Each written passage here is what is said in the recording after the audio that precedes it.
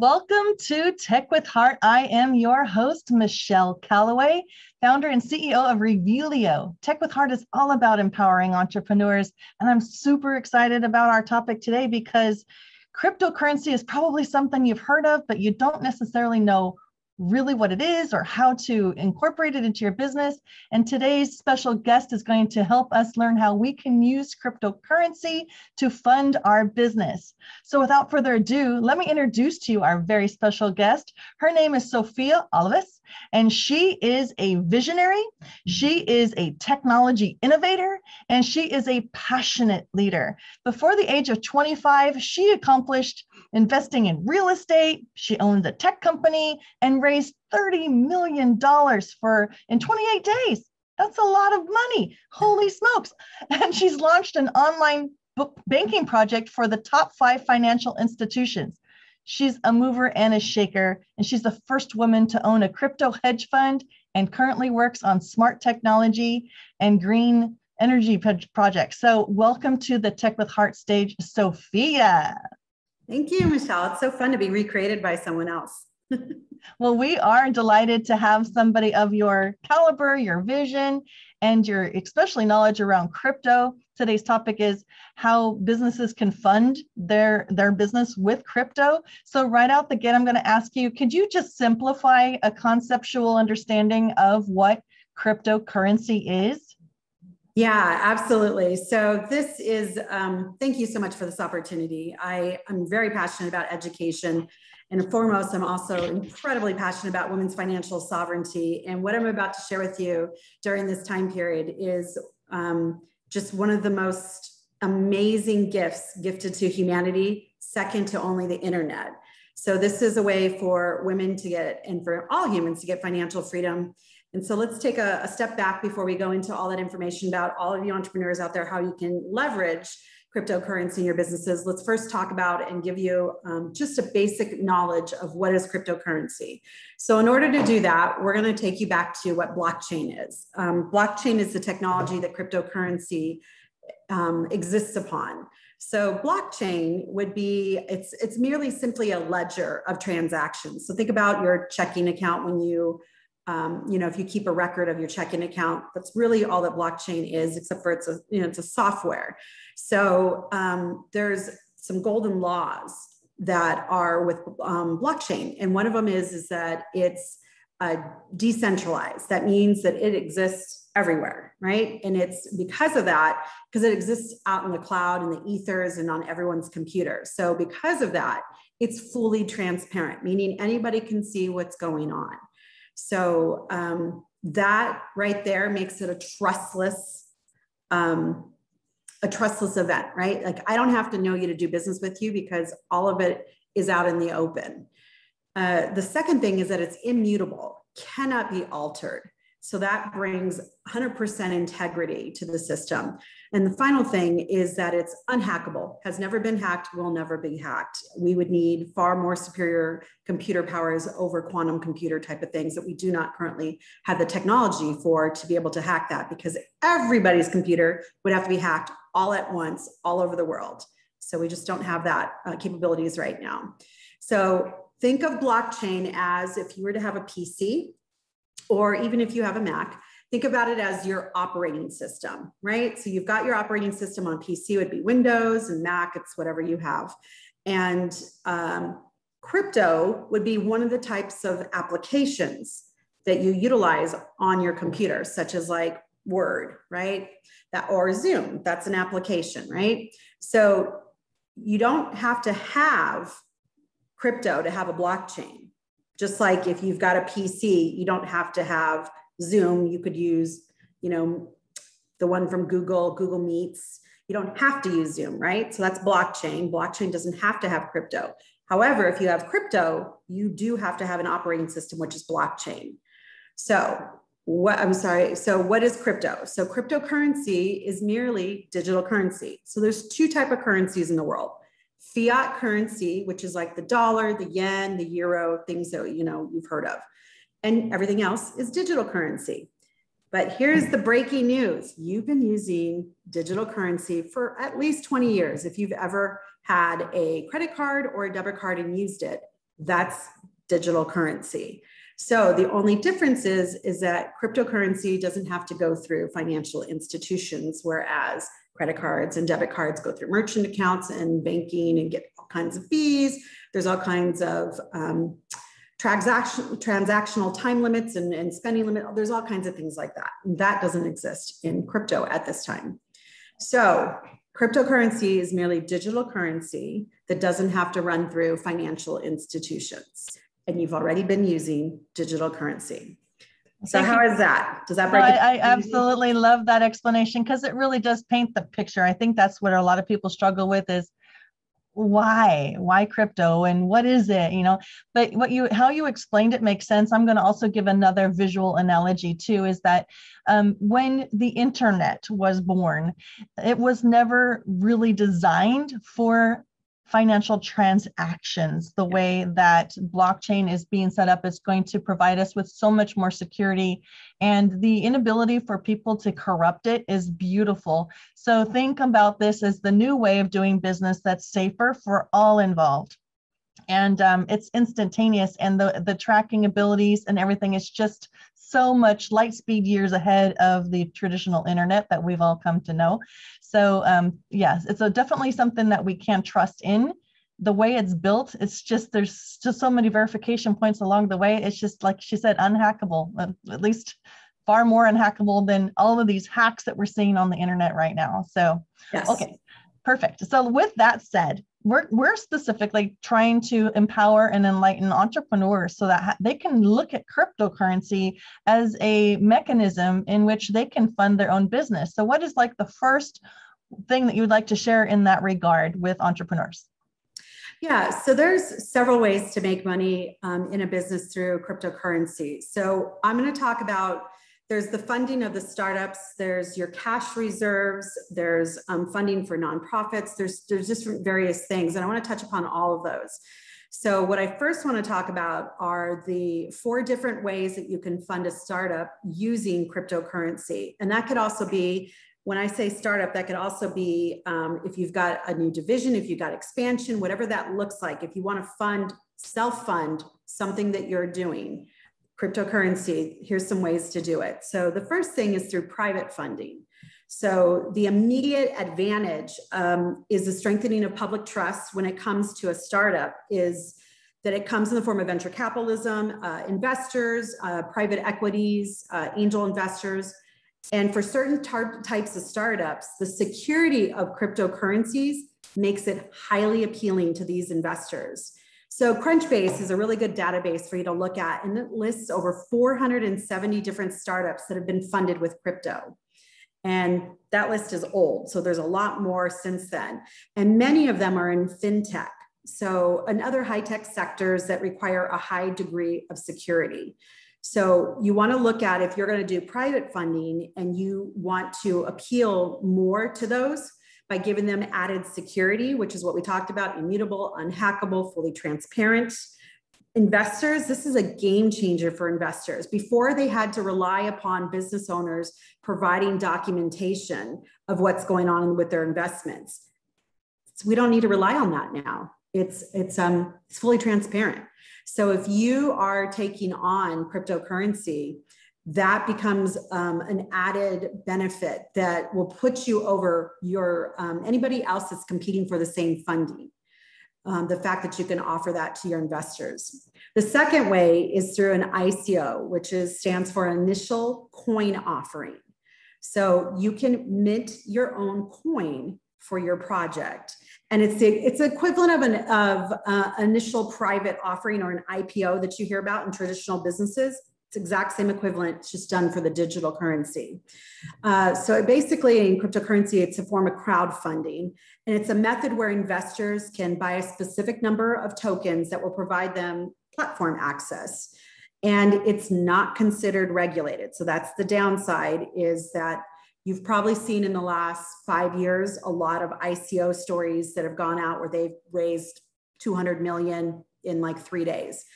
Um, the thing is, is that it's not considered regulated, and there are a lot of challenges going on in the courts right now. The courts are trying to catch up and formulate regulations around that. So, an answer to that has been STOs, secured security token offerings. So, an STO um, used as a crypto fundraising, it's a method that can adhere, it can adhere to those regulations. So, in a nutshell, a security token is a cryptocurrency that has the backing of real assets. And it also complies with SEC regulations. And so they have lower risks compared to ICOs. So I'm going to give you an example. Uh, the dollar, the US dollar, is not backed by anything. Uh, it's just backed by the faith of the people and the faith that we have in our government. We got off the gold standard a very, very, very long time ago. So there's nothing backing our money in cryptocurrency, the one that most people are familiar with, Bitcoin, nothing backing it. Absolutely nothing. Again, the good faith and what everybody believes in, it, and it was the first. The great thing, and another great thing and benefit about cryptocurrency, I'm just going to throw this here as like a little, a little tip, a little hack, is that whenever you want to um, inquire about a cryptocurrency, here's where the full transparency comes in. You just go to Google, you type in the name of that cryptocurrency that you're interested in looking at, and then type in the word white paper. Every cryptocurrency has to have a white paper when it's minted. And that tells you who the team is, what's the purpose, if there's anything backing the cryptocurrency, how much cryptocurrency is minted, how will it be released, all the vital information so once again, you don't have to rely on hearsay, the news media to tell you if this is a good currency or not. The responsibility is completely given to you, and you can make a solid decision because the facts, the pure facts, are given to you right there in that white paper. So, another, a third way for businesses to utilize um, cryptocurrency to fund is the, um, the IEO, which is the initial exchange offering. So that's a method that's facilitated by an exchange that usually platforms such as um, KuCoin, um, Binance, and their token sales are implemented through these platforms and they're the token issuers so that would be you you have to pay a listing fee together with the percentage of the tokens that are sold in the ieo so in exchange the tokens of the startups are sold on the platforms for you, and the coins are listed once that deal is done. And then, so they're listed on the exchange. And then the exchange takes a percentage of the tokens and provides incentives to help the marketing operations of the token issuer. So the participants of the IEO do not provide contributions to the smart contracts. So smart contracts is back to the blockchain and, and how the money gets realized and dispersed out. So you just have to create an account on exchange platform. It's a lot easier way to do it, but then you make less money because you know they're burdening the cost and the platform, the creation of all that. So the contributors will then fund their wallets with the coins and use those funds to buy the tokens of the company. So that was a lot being said. Being able to do business online is crucial for survival, especially during times of social distancing. So how do you survive and thrive in the sea of digital noise? It's a lot like fishing. You need to know who your perfect customer is so that you can use the right kind of lure to attract them. We help you catch your perfect customer and retain them for future sales through highly converting websites, influencer mobile apps, getting you featured in the news and on TV. Hi, my name is Jerry Bowden, U.S. Army veteran and president of Revealio Software Solutions. Our goal is to help you rise above the competition, be seen as an expert authority in your industry, and embrace technology to stay competitive for long-term success. It's more affordable than you may think, so reach out to us at Revealio.com and together we will make your business come alive those are the different ways. It really was. And I want to kind of just um, go back to what we are comfortable with. And so what we know, and then how are we can potentially start opening this mindset to embracing cryptocurrency because we, you know very well, and I know very well that this is our future. um, at some point the U.S. dollar, as as we know it, is likely going to just disappear because of technology and the advances of it and the security inherent within blockchain. Um, however, let's let's talk about um, funding from investors at this moment. What are you seeing um, percentage wise of investors, whether they're angels or VCs, open to investing in this manner? Are all would are the majority of investors already embracing cryptocurrency? Can you share a little insight on what you're seeing out there? Certainly. So in the last 10 years, the majority of multimillionaires and billionaires all came from cryptocurrency. So their portfolios of their wealth were accumulated in the cryptocurrency space. So that tells you something right there. Second of all, there are massive tax incentives for keeping your money in cryptocurrency, um, meaning you know keeping it there versus taking it out and transitioning it into fiat currency. So if there's a tax incentive for me to uh, keep my money in crypto, then the more ways that businesses can allow me to do business with them, that's who I'm going to do business with. So there's a whole economy that exists that you're probably not aware of unless you're really deep into cryptocurrency that exists only with cryptocurrency. You can you can never use fiat. So there's resorts, there's travel companies, there's planes, there's um, all kinds of things. Everything you can think of that we have right now. There's miniature you know models of it miniature worlds that are going on simultaneously where you can only participate with cryptocurrency. So you you basically live crypto right? So you're not using any fiat. And if you show up and try to pay with uh, it doesn't matter if you have a million dollars in cash not going to get in. So there's there's a whole world that you're going to open up to yourself by um, allowing just, just the step one allowing people to do business with you with cryptocurrency, which is a really easy thing. It's just a merchant account. Mean, PayPal is allowing cryptocurrency. Um, there's, um, which is probably the biggest. A lot of the, the large banks are now allowing cryptocurrency. A lot of the um, investment companies are like Fidelity and all them are starting to allow you to do cryptocurrency. If, if COVID showed us something, if in parts of the world, wherever you're listening, you may have experienced this. There were a lot of places of business that would not, even to this day, do not allow you to give them cash because the virus, viruses are transmitted through cash. And you probably saw these little signs everywhere that said that there was a coin shortage. So, what was behind that? Another thing, money is dirty. There's a there's something behind that saying dirty money and it is the fact that it actually transmits stuff. So, what was happening is they were, they were only taking credit cards. Well, that's why cryptocurrency came to the forefront because that's the safest way to do it.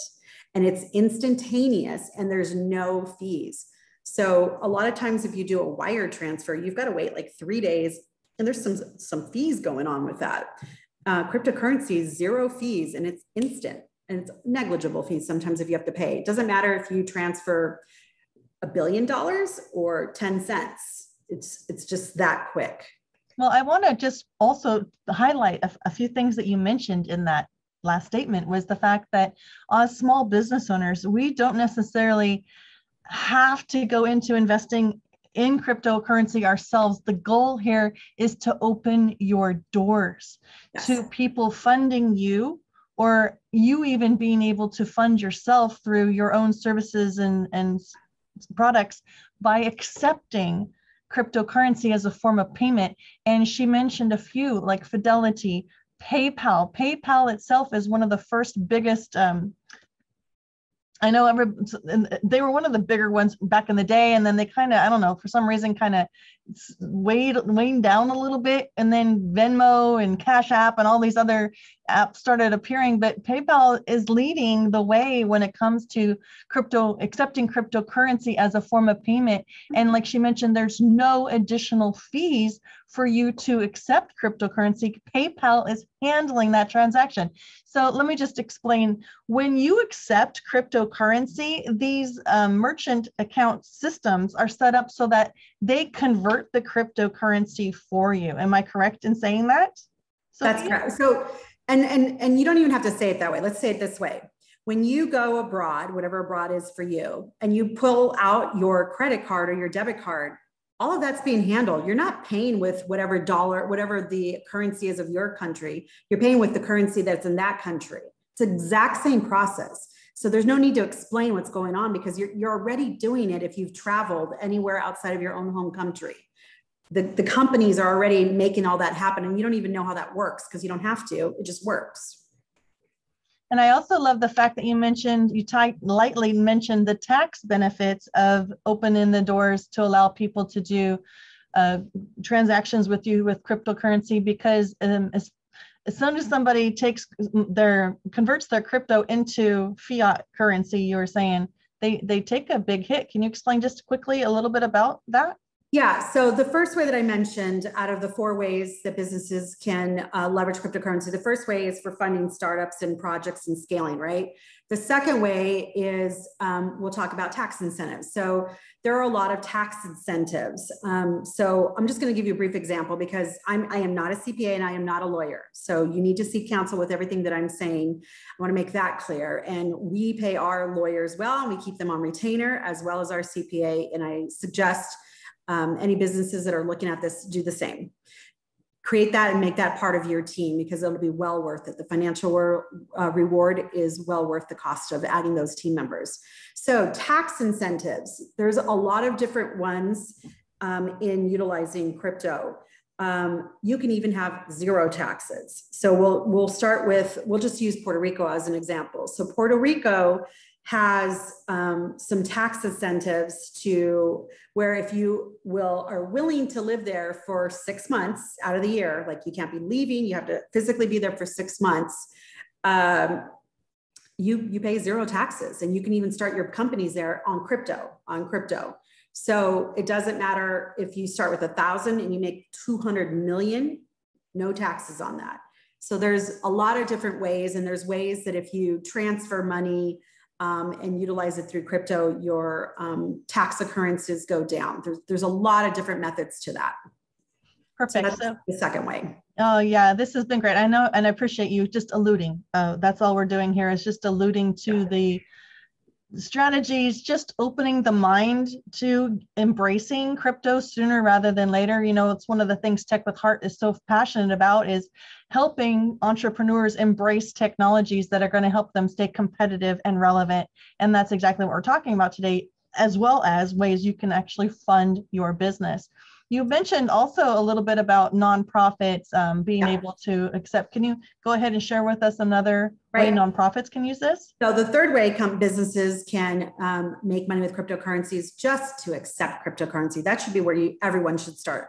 So the way, like, what does Princeton, MIT, American Red Cross, and UNICEF all have in common? The fact that they're all nonprofits and the fact that they all raised the majority of their money in the last few years through accepting cryptocurrency for their donations.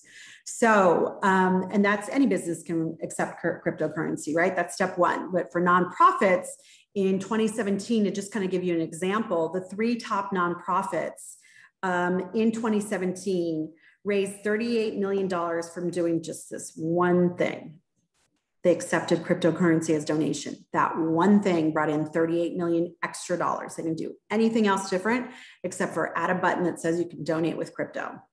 So, um, and for example, I'll, I'll, tell you about how we were talking about tax incentives. Pineapple Fund, it's an amazing fund.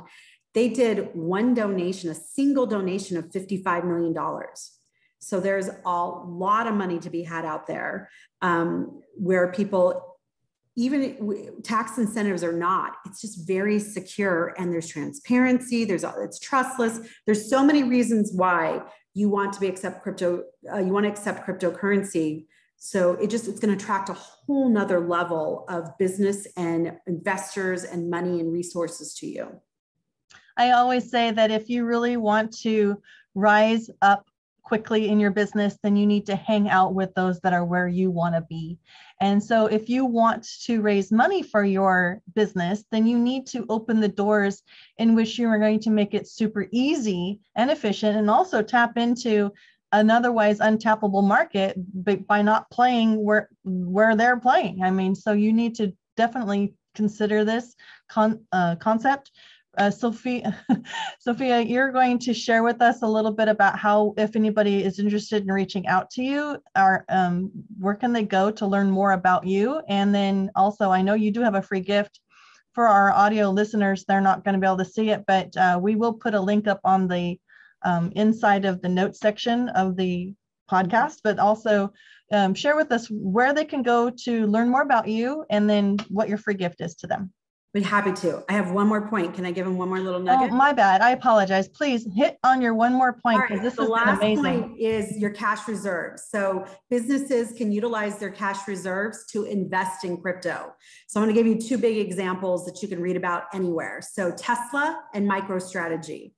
So Tesla was in the red and there was some other things that brought them out, but the thing that really pushed them out to the fact that they came out of the red to be able to go to Mars and have enough money to do it um, and MicroStrategies was that they used their cash reserves to invest in Bitcoin. And that alone shot them way over their competitors and over the moon and made them flush with cash. So really look at where your cash reserves can go and, and how you can put that instead of into a savings account.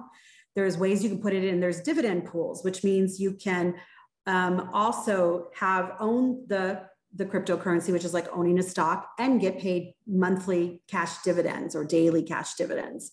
So that's the other way. So I just wanted to drop that little tidbit for you. And I also just wanted to tell you that investing in digital currency protects your business against counterfeiting, threats of fraud, um, even inflation, which is coming up and we're hitting right now, at least in the States. So um, it's advantageous due to the, the minimal cost, the transparency, the accessibility, and the ease of use with them. So um, ways that you can um, do business with me is and meet up with me. And I also have a free gift. So let me start with that. So we um, highly, highly, I'm very passionate about education, as you can see from my um, my passion in, in, my talk. And thank you so much again, Michelle. Is um, we created Cryptonics, which is an educational system for beginners that brings you all the way through, kind of like what I did. What's blockchain? What's cryptocurrency? How do you buy it? How do you use it? How do you protect yourself in that space? Tax, all that stuff.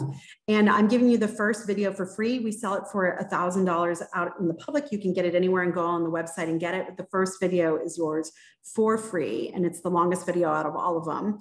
So there is a Bitly link that I'm sure Michelle will make um, available to you guys.